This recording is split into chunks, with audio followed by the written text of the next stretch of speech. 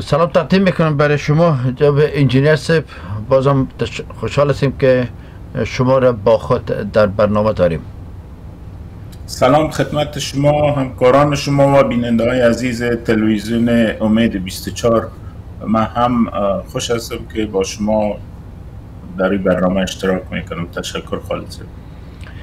سلامت باشین جاسب و دوست داریم که در ابتدا شما بشین که در یک هفته که نبودین خب شما هم با خبر و گزارش زندگی می‌کنین و ماشاءالله بسیار فعال هستین در تمام رسانه ها و اینا. چی گذشت در وطن ما و چی تعلیل دارین شما یک هفته ای که گذشت؟ با سلام و بسم الله الرحمن الرحیم.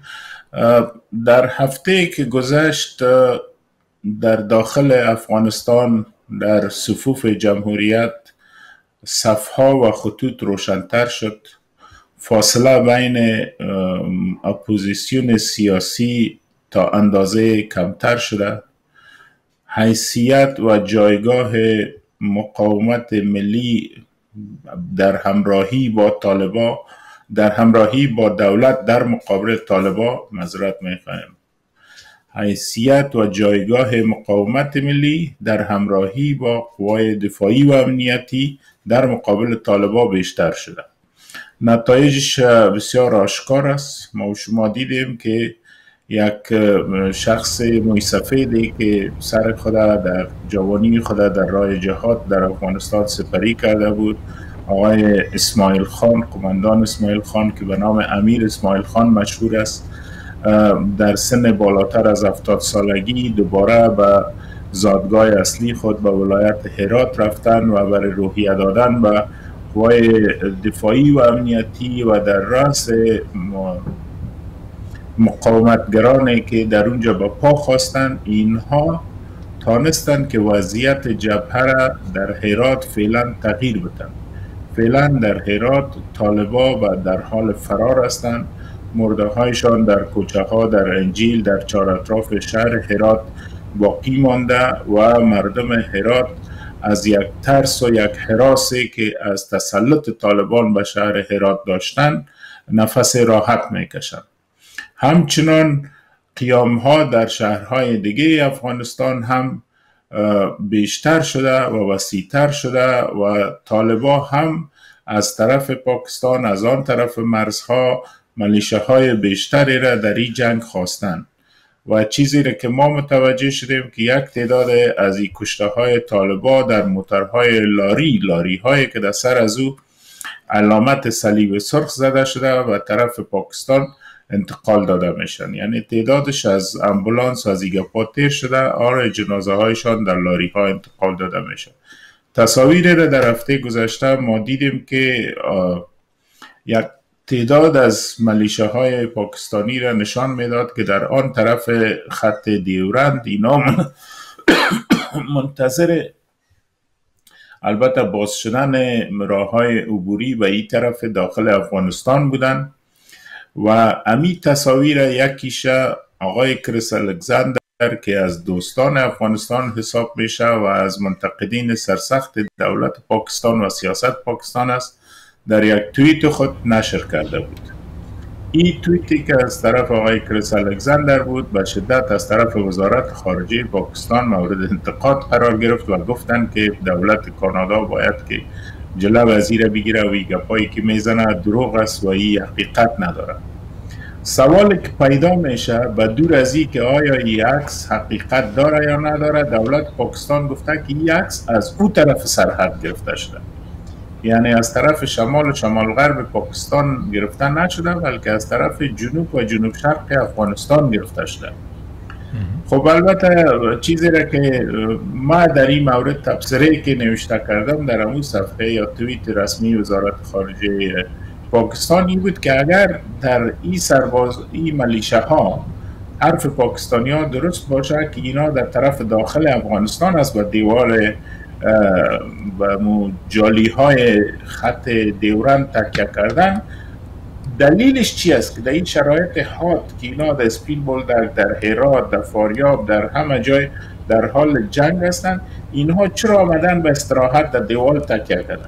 اینا فاتح شدن اگر فاتح شدن خب یک بیرق و یک جشن باید توجه بگیرن که آدم از تصاویرشان دیده بتانه. اما اینا با سلام های خود تمامش منتظر شیشته که بره در حالی که در جنگ از پس اینا شکست خورده فرار می‌کنن می‌خواین طرف پاکستان برن یا دلیل یعنی از نظر منطق یک دلیل دیگه داشتن نمی‌تونه و جزی که اینها ملیشه های مسلحی هستند که با سلاح و مهمات و تجهیزات خود منتظر آمدن به داخل افغانستان هستند. دیگه وضعیت جنگ افغانستان در هفته که گذشت از امی خم و پیچ های تیر شده که باعث از این شده که روحیه قوات های دفاعی و امنیتی افغانستان قوی تر شود. حمایت مردم از نیروهای دفاعی و امنیتی بیشتر شود. و من فکر می‌کنم دولت کابل و ارک و شخص آقای اشرف هم متوجه از این شده که باید به خواستهای مشروع مردم سر تسلیم و تعظیم بگذاره و صحبت که ما در جلسه مشترک شنیدیم اگرچه حرف های بسیار نو و تازه نداشت اما این به سراحت و وضاحت نشان می‌داد که زور مردم و قوت های مردمی را و مقاومت ملی را دیگر نمی‌تونه چشم پوشی و انکار کنه دیده شود که خدا چی می‌کنه و چی بخیر در پیش روی مردم افغانستان است. خب با امید هزی که تمام کسایی که در فکر خیانت و وطن هستند روز متوجه شوند که خیانت بالاخره در وطن ناکام است. شما از خیزش های مردمی گفتین اما سوال عمده که من از اکثر مهمانای خودم می‌کنم است که چی دلیل وجود داره که به خیزش های مردمی اجازه داده نمیشه که اینا وارد عمل شوند و حمایت نمیشه از طرف دولت؟ خب من فکر می‌کنم که مسئولین درجه یک دولت خودشان همی جواب سوال های شما را داده اونها ترس دارن.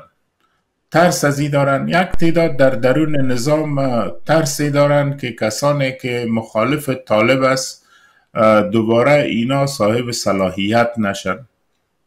یک تعداد دیگه کسانی هستند که در ارک اونا ترس ازی دارند که این خیزش های مردمی و این مقاومت ملی باعث امو به دست آوردن چیزهای نشه که اینها در مقابلش در امی 20 سال و خصوصا در هفت سال گذشته پایداری کردند. که او ایجاد یک سیستم عادلانه و یک تغییر در نظام بر اساس حقوق مساوی تمام افراد و باشندگان افغانستان خواهد بود. بر اساس غیر متمرکز ساختن ساختار دولتی و اساس انتخاب مقامات در سطوح مختلف ولسوالی ولایت و شهرداری ها خواهد شد. اینا ترسشان از این است. هر دو طرف هم طالب هم جانب ارک فعلا یک ترس از نیرومندی مردم دارند. بر از که همه چیز دیگه امروز از زیر آب بیرون می آید امروز طالبا ثابت کردن که اینا جنگشان به خاطر اسلام نیست جنگ دینی نیست جنگ سیاسی است حداقل. اگر ما بگوییم که جنگ قومی و مذهبی و زبانی نیست صد درصد جنگ سیاسی است و این ثابت هم شده. و جانب ارک هم متاسفانه ثابت کرده در هفت سال گذشته که اینها از یک تبعیض سیستماتیک در اداره و نظام کار گرفتن. ما و شما می‌فهمیم که جوانان قوی و رزمنده را که امروز مثلا در هرات یک تعداد زیاد کسانی که به دور امیر محمد اسماعیل خان جمع شده اینا اشخاص حزبی و تنظیمی وابسته به او نیستند اینا جوانانی هستند که در همین نظام در اردو و پلیس ملی خدمت کرده بودند و اینها از اردو و پلیس ملی به دلایل مختلف دور شده بودند و لحاظا و اینها خصوصا در همین هفت سال که گذشت ما و شما دیدیم که یک تعداد زیاد جنرال ها و افسرها از نظام از حکومت فاصله گرفتن در درون نظام. و این ترسی است که جانب دولت از او ترس داره و خود دولت اگرچه که در مابین دولت معاون اول و دوم همیش کوشش می‌کنن که به اصطلاح بر روی کارکردهای مثلث اصلی ماسمالی کنن او را سفید نشان بتن به مردم. اما واقعیت امی است که یک دلیلی که مردم برابر طالب اگر نباشه کمتر از طالب هم از این دولت نارضایتی دارن و دولت ای را احساس می‌کنه و از این میترسه که در آخر روز مردم بر طالب پیروز میشن و حکومت تغییر خواهد کرد. تشکر همای در این مسئله خیزش های مردمی چرا از دید شما در تقابل با ترستان طالب؟ گرچه که شما کمی توضیح دادین ولی می‌خوایم بیشتر بشکافیم. کسان قرار گرفتن که فعلا از ساختار نظام بیرون شدن به شکل از اشکال و به صورت واضح تر اگر بگیم امروز در هر کجا در مقابل طالب جمعیت اسلامی قرار گرفته. دلیل از این چیز؟ چون دیگه عذاب دیگه تنظیم اوتا سیاف و اینا هیچ کدام از اینا سم ندارن. دلیل از این چی می‌تونه باشه؟ اول خو یک دلیل واضح از این ای است که تنظیم جمعیت اسلامی شاخه های مختلفش در طول 20 سال گذشته و سراحت به مردم افغانستان نشان دادن اینا خودشان باید امیر جرات داشته باشند که بگویند اما معامله هم کردن ولی نشان دادن که با می ارزش های دموکراسی ارزش های نظام اینا همسو هستند یعنی در 20 سال گذشته ما شما می‌فهمیم نه تنها تنظیم جمعیت اعضاب دیگر هم منفی حزب اسلامی آقای حکمتیار و یک تعداد محدود دیگه من فکر می‌کنم اکثر مجاهدینی که در مقابل اشغال شوروی جهاد کرده بودند و در مقابل اشغال پاکستان مقاومت کرده بودند اینها با امی دستاوردهای 20 ساله دموکراسی ارزشهایی که در امی نظام 20 ساله بود اینا توافق نظر دارن و همسویی دارن. و همون دلیلش است که اینا نمی‌خواین که از دستشان بره. و فرق از اینا و فرق همین کسانی که مردم مذهبی متعصب اسلامی است هم در امی است که اونها تغییر نمی‌کنن. اونها هنوز هم می‌خواین که ما به عصر حجر بریم. ولی اینا مسلمانان معتدلی هستند که در چوکات اسلام و سنت و مذهب حنفی خواهان از این هستند که از ارزش های متمدن مدنی هم بهره ببرند. فرق عمده به خیالم امی باشه که اینا می‌خواین دفاع کنن از دستاوردهایی که است. تشکر. اما مسئله یک بخش یک بخش تنظیمی بود. اما در همین جریان 20 سال ما شما شاهد به اصطلاح یک گفتار غیر مسئله یک داد افراد بودیم که امیش امی جانب را که امروز در جهت دفاع قرار گرفته اینا رو محکوم می‌کردن اینا رو مهاجر خطاب می‌کردن اینا رو میفتن که شما برین پس به کلاب برین شما برین به اینجا برین به اونجا برین شما از این سرزمین نیستین. اونا امروز از دید شما کجا هستن؟ چرا امروز اونا در سنگر دفاع قرار نمی‌گیرن؟ چرا امروز اونا از وطن دفاع نمی‌کنن؟ در حالی که جنگ در صد تا سر است. همونطور که شما پیشتر اشاره کردین یک اشاره بسیار خوب کردین که جنگ امروز جنگ قومی نیست. اگر جنگ قومی می بود کشتار رحمانی 400 تقریبا 400 نفر در اسپین بردک صورت نمی گرفت اما امروز جنگ جنگ سیاسی است. در جنگ سیاسی کسایی که دعوای مالکیت می‌کنن کجا هستند سوال بسیار خوب ولی بسیار مشکل است آقای خالد من کوشش می‌کنم. امی کسایی که غیر حاضر هستن اینا به از نظر ما به دو قسمت فعلا تقسیم شده. بله. یک قسمت از اینا متاسفانه پلیدترین نشان است که حتی تا وکلای پارلمان هم درون است که اینها هنوز هم در بیرون و بین خود توطعه و دستیسه می‌کنند شعارهای پرویز مشرف و قمر باجوا را هنوز هم اینا بین خود زمزمه می‌کنن. هنوز هم اینا برادران خدا متحدین خدا به نامهای یاد می‌کنن که پاکستان ISI و رئیس جمهور پاکستان به اون نام یاد می‌کرد. اینا حسابشان جداست. اینا چهره های بدنامی هستند که هیچ وقت اینا در افغانستان غیر خود کسی دیگر را تحمل ندارند از شروع زمان سردار محمد داود تا به امروزه در هر رژیمی که اینا بودن اینا غیر خود کسی دیگه را به رسمیت نشناختن و نمی‌شناسند و اینا هیچ فرقی با تفکر طالبانی ندارن. خط از اینا جدا است اما در پالی از او گروپ های دیگه که بودن کسان دیگه که بودن. به قول معروف دروازه توبه همیش باز است. ما از صحبت های آقای حامد کرزه استقبال می‌کنیم. که اونا هم ندامت و پشیمانی کردن و هم گفتن که خودش یکی از در صف قیام کنندگان میسته. و یا کسان دیگه دوستان دیگه ما فکر می‌کنم که به قدر کافی در تمام اقوام افغانستان پشتیبان و حامی آزادی عدالت و دموکراسی داریم و شما تشویش نکنین در هر خانه یک دیوانه و یک مریض می باشه افغانستان هم یک مملکت کلان است. 39 یا 40 میلیون نفوس داره.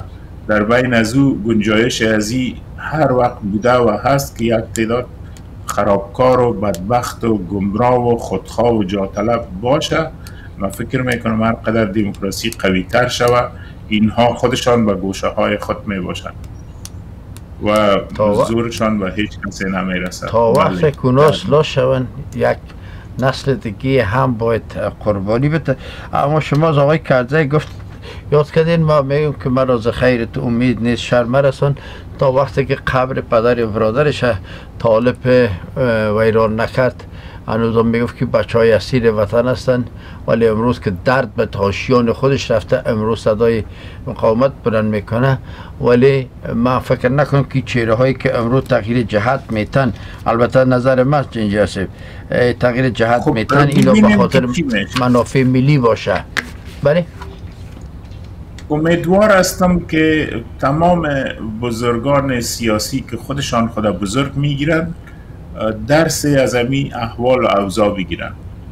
کسانی که در جانب جمهوریت از تنظیم های جهادی از تنظیم جمعیت اسلامی که شما یاد کردین من امیدوار هستم که اونها اگر در این 20 سال حکومت امریکا و ناتو در عیش و عشرت فراموششان شده صحبت های شهید احمد شاه مسعود قهرمان ملی افغانستان برند گوش کنن دو بار سه بار گوش کنن و تنهایی گوش کنن تا که به یادشان بیه او درباره طالب چی می‌گفت و بعد به اعمال خود ببینن چرا یک تعداد از اینا با طالب معامله کردن با طالب پرستا و طالب پسندا معامله کردن باید درس بگیرن از او.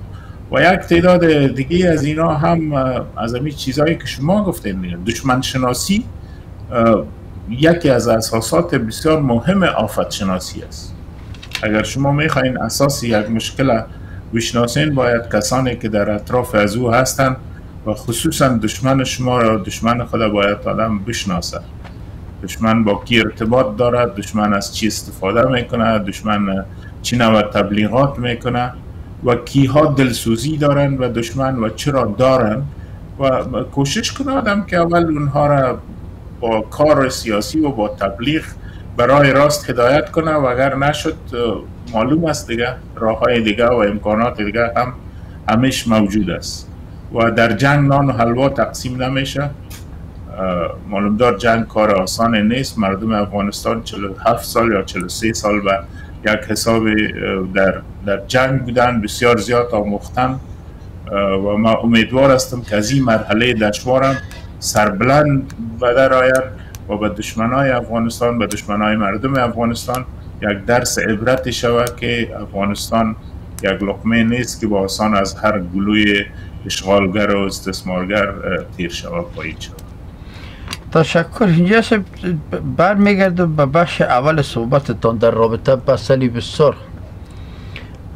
صلیب سرخ در یک اعلامی تصاویر رد نکرد ولی گفت که ما انتقال ندادیم. چی فکر می‌کنین که صلیب سرخ دروغ میگه یا تصاویر و گزارشات؟ یک یک از موضوع بیخی خارج میشم. امریکا گفت کسانی که با امریکایی ها کار کرده با موسسات بین المللی کار کرده در افغانستان در 20 سال گذشته ما با اونا 8000 ویزه اضافی میدیم. این خبر بسیار خبر مهم است. اما گفتیم مسئولیت گفت این مسئولیت خودشان است که خودشان خود به یک جای برسانند. یعنی ما اونا رو به تیاره گرفته انتقال نمیتیم خب صلیب سرخ هم هیچ وقت نمی‌خواهد که درگیر خود بسازه در یک مسئله که او جنجالی باشه معلوم دار امی که بیرق صلیب سرخ در سر یک لاری انداخته میشه. شما می‌فهمین که حتما و صلیب سرخ در جریان می آیا کدام پروتست کدام احتجاج از طرف دفتر مرکزی صلیب سرخ در مقابل کشور پاکستان یا در مقابل تروریستا یا طالبا شما شنیدین در چند روز در وقت کمی خبر نرد یا تایید کردن گفتن که استفاده از بیرق صلیب سرخ برای انتقال در لاری ها از طرف ما مردود است ما ایره رد می‌کنیم ما در مقابلش احتجاج می‌کنیم. چرا ما خبر نداریم که در این لاری ها چی است سلا بود مهمات بود یا مرده های جنگجویان طالب بود؟ نه. و این کار خود نکرده. سکوت کرده دنی. گفته که ما نرد می‌کنیم نه قبول می‌کنیم. خود از این خبر در ذات خود نشان دهنده از است که اگر لاری ها را صلیب سرخ فراهم نکرده جنازه ها را و می بیرق های صلیب سرخ حتما فراهم کرده تا یک جای رسانده که او را با لاری گرفته و انتقال بده. و این را در طول قبلا نماز کردم در زمان جهادم صلیب سرخ خدمات را که می‌کرد تمامش نمی‌تونست. یک قسمتش جاهایی بود که مؤسسات خیریه دیگه بود با اونا صلیب سرخ ارتباط داشت. حتی در این جنگ های قندوز که دو سه دفعه چند سال قبل شد اگر یاد شما باشد در او هم زخمی ها از شفاخانه قندوز به پشاور انتقال داده می‌شد.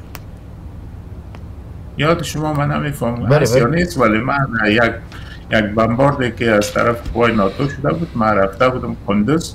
در اونجا ما از شفاخانه اینجا دیدن کردیم. مریض هایی را که ما شب رفتیم دیدیم در شفاخانه. فردا دیگرش که رفتیم اونا در اونجا نبودن. گفتن اینا را انتقال دادن. و دوستای مریضا دیگه بود؟ افغان از افغان بودن یا طالب؟ او, او را نمیفهم. چرا یک بمبارد که شده بود از طرف قوای امریکا شده بود و یک تعداد طالبا کشته شده بود یک تعداد کسانی کشته شده بود که مردم می‌گفت اینا طالب نیستن و دولت و امریکایی ها می‌گفتن همیشان طالب است. او یک بخش جدایش بود اما گپ سر از این بود که همی زخمی ها و همی مریضا و کمک صلیب سرخ به پشاور انتقال داده شده بودن. یعنی در موتر صلیب سرخ نه ولی به کمکشان.